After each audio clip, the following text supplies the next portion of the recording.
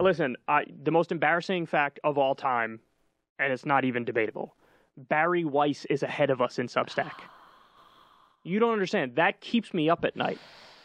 I'm not big on, you know, dick measuring contests. I'm not like, what are my numbers? I don't care about that 24 7.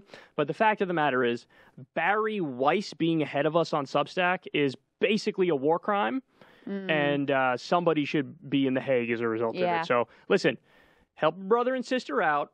Go to Substack, pay the $5 a month, get the video of the show, get it a day early. And for the love of God, get us in front of Bari Weiss. We need to. How far? rallying cry. How far off are we? Do you have the numbers in front of you right now? it's Hold okay on, if it's too on, difficult to get. No, it's really not that big of a deal. can get it. I can get it. Um, well, we don't know exactly the numbers. Right, we don't know exactly the numbers, but We're at What number is we're she? at 14. So we're number- 10. we're number 14 in news and politics. Bari Weiss is number 10.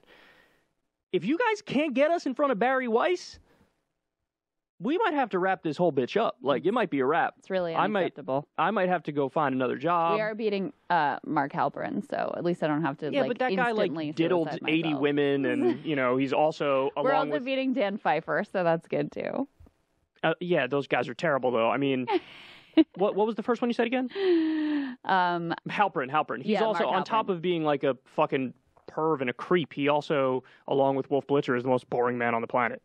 So if we weren't beating him, I would We curl would up in the fetal position on the floor and cry right pack now. up shop. Yeah, That'd but the Bari Weiss thing, my ego's taken a Bad giant enough. hit, and it will never recover. so anyway, subscribe on Substack so I don't kill myself. Um, anyway, love you guys, and we'll talk to you soon. Thanks, guys.